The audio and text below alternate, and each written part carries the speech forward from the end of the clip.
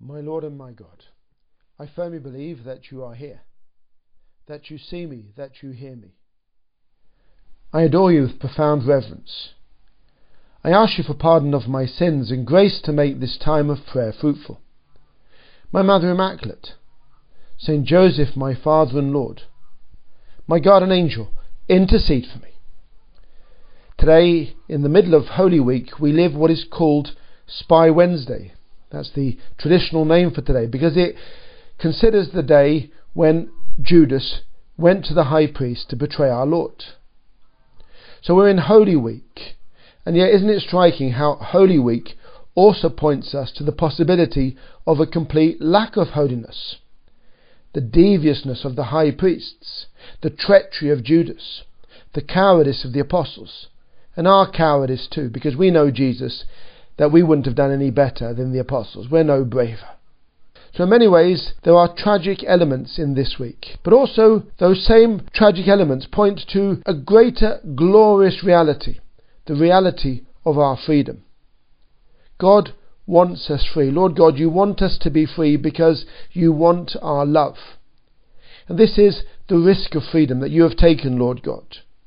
How important this risk is in parenting, in the church, in all sorts of ways in our own lives to take the risk of freedom, not to mollycoddle, not to overprotect or straitjacket, even with the best will in the world. St. Josemaria would talk about how his parents gave him a lot of freedom. They were very wise. They kept him short on money, so he had to keep in touch with them. But they left him very free. And in today's Gospel, we see Jesus' careful preparations for the Passover. Lord Jesus, how much you love us. You had everything prepared, the preparations of love, with the eyes of love and the details of love. You tell the disciples to go to such and such a person in the city, and you tell them what to say. You explain to them that he'll show you a room, and you must prepare the Passover meal there, you tell them. Course, even then there was freedom. They might have chosen not to go. They might have got distracted and gone to the pub instead. Jesus, you always respect our freedom. You take the risk of freedom. You leave space for human agency and human initiative. And those two disciples would have also prepared things in their own way with their own touches. I really love those words of St. Paul to the Ephesians, in which he says, For we are God's workmanship, created in Christ Jesus for good works, which God prepared beforehand that we should walk in them. Thank you, Jesus. This is so beautiful. You've got it all prepared, the whole script, but we have to follow it freely. And we see how a great actor adds his or her own flourishes to the script, their own unique touches. The fact that you have to follow a script doesn't mean that there's no freedom. Not at all. Great actors do a lot with a script, they really make it their own. God, you've prepared it all for us those good works you want us to walk in. But we can choose to follow your way or not, and with our own unique personality. We can use that personality to go to heaven or to be damned. Those very gifts that you give us can be for our making or our undoing. How tragic Judas was, one of the twelve. He heard and followed Christ's call. Jesus, he saw your eyes of love resting on him those eyes calling him to something more and greater. His heart was stirred within him. He responded to your call with enthusiasm. He was called to be a leader of the church. He could have been a great saint even after his betrayal of you, Jesus. He would have lived those joyful days in Galilee when the disciples said to our Lord, Everyone is searching for you. He would have been loved by Our Lady, by you, Blessed Mother. He helped to distribute the bread in the multiplication of loaves.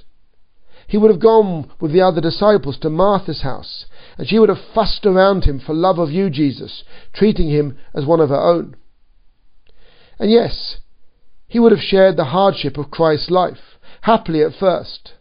The long journeys, walking through rain, the cold, the blazing sun beating down on them, the lack of rest and me time. And maybe at first he welcomed this. It was enough to be with Jesus. And clearly he had some talents. He'd been entrusted with the common fund. It's surprising that it was him and not Matthew, the tax collector, who'd been chosen for this task. Jesus would have had good reasons for this. He certainly had a head for numbers when Mary of Bethany lavishly anointed our Lord's feet with expensive ointment. Judas quickly worked out that that ointment was worth 300 denarii.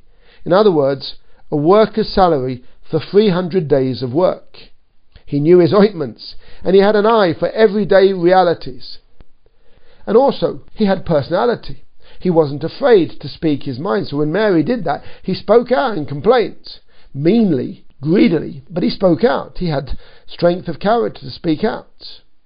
And yet, maybe the hardship of the road, the lack of privacy, not having anywhere to lay his head, like you, Jesus, the constant demands of the crowds, began to get to him. And having control of the common purse, he began to use it. When they got to a village, maybe Judas would sneak off to buy himself a treat. He began to resent Christ's poverty and found subtle and secret ways to get round it. At first, little by little. But also little by little, the coins coming into the fund began to shine more brightly before his eyes. He started to see them more than Jesus. After a while, it became notorious.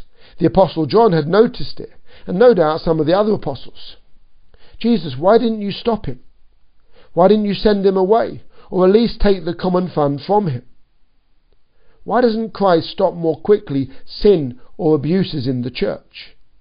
It's a mystery, but it's linked to freedom. Eventually his greed grew so great, those snowdrops, falling one by one, had turned into a rolling snowball and finally into a sweeping avalanche. And that greed swept him away. He went to the high priests and asked, What will you give me if I hand him over to you? They gave him thirty silver pieces. How his eyes would have shone on seeing them! Wow! Luxury assured. When Jesus was done away with, he could retire on that or set up a business and become wildly rich. Here, Jesus, you teach us the importance of poverty, living within our means, living simple lives, not being attached to wealth. Because if wealth begins to control us, it will destroy us, and we'll only truly find freedom if we are free from wealth. And Jesus, you tried to warn him. You dropped hints at the Last Supper, where Judas was present and even ate the Eucharist, perhaps the most sacrilegious reception of communion ever in history. He was among the first twelve ever to receive, and yet the most sacrilegious. Jesus, why don't you stop sacrilegious communions? You know, Lord, you know best. Why doesn't the priest? Because maybe we can't without betraying confidences or things we know but can't say or even act upon. Jesus, you then become more explicit. You're trying to warn him. You announced your betrayal at his hands. When evening came, Jesus was at table with the twelve disciples. And while they were eating, he said, I tell you solemnly, one of you is about to betray me. They were greatly distressed and started asking him in turn, Not I, Lord, surely. He answered, Someone who has dipped his hand into the dish with me will betray me. The Son of Man is going to his fate, as the Scriptures say he will. But alas for that man by whom the Son of Man is betrayed. Better for that man if he had never been born. You're trying to warn him, Jesus. You're trying to show him that you know what he's about. And Judas gives that horrendously false answer. Not I, Rabbi, surely. And Jesus, you said to him, They are your own words. In other words, you condemn yourself by those words. You then sent him out. What you're going to do, do quickly.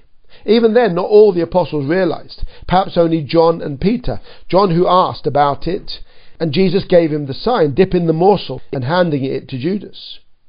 And John might just have had time to whisper to Peter.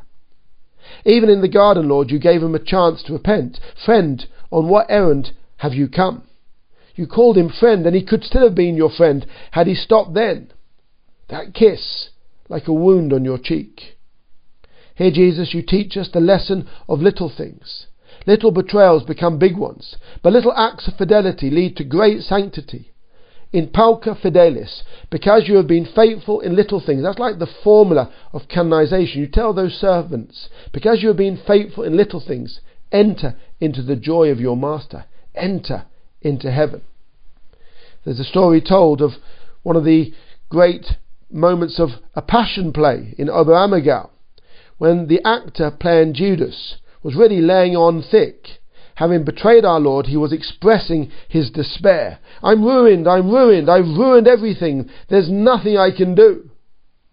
And then there was a dramatic silence to add to the effect. But then suddenly, a child's voice was heard clearly, speaking to his or her mother. But, Mummy, why doesn't he go to Our Lady? That's surely what Peter would have done after his denial, and that's what saved him. With Mary, there's always a way back to Christ, and even after great sin, the possibility of great sanctity. I give you thanks, my God, for the good resolutions, affections, and inspirations you have communicated to me in this meditation. I ask you for help to put them into effect. My Mother Immaculate, Saint Joseph, my Father and Lord, my guardian angel, intercede for me.